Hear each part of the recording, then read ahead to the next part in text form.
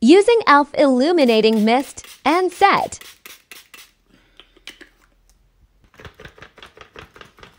Use a dry beauty blender or sponge with a little tiny of powder.